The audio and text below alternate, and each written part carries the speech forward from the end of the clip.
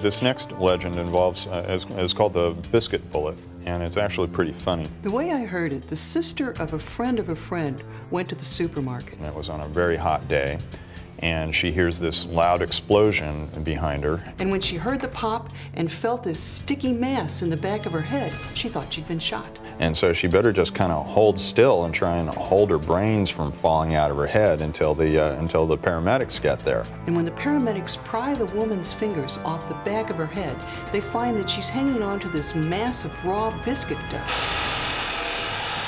So, what do you think we're going to need for this experiment? Well, we're going to need some biscuit dough of a bunch of different, uh, a bunch of these canisters of different sizes or different types and brands. So we've got to get a, a car.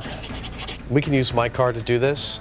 I would think that we'd want to duplicate the car's interior temperature by, say, pointing heaters into the windows. All right, so you want to go to the grocery store and pick up a selection of these? I'll pull in my car and the heaters and start preparing stuff? Sure.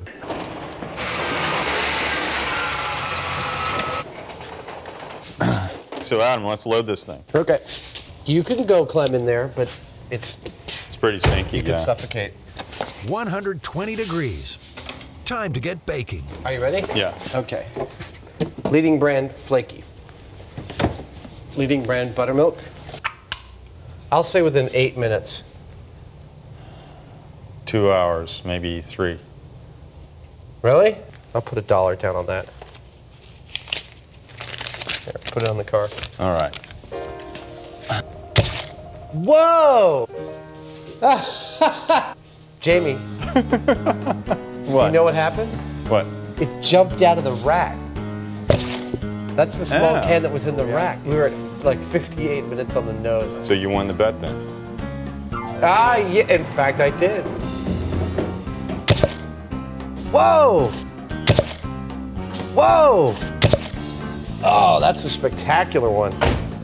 I definitely could understand how you'd mistake this for brains. Here.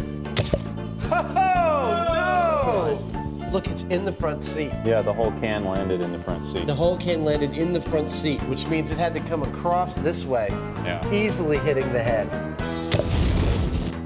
I mean, I think I, I think we've definitively proved that this is entirely not only plausible but possible. Yeah, yeah. We've Under the right uh, circumstances. We've seen uh, projectiles come out, like you know, actual biscuits. Yeah, that one fired almost three feet. Yeah, this one's kind of like a biscuit cannon, you know, Yeah. like a mortar. exactly. I think without a doubt, a can of biscuit dough has exploded in somebody's car.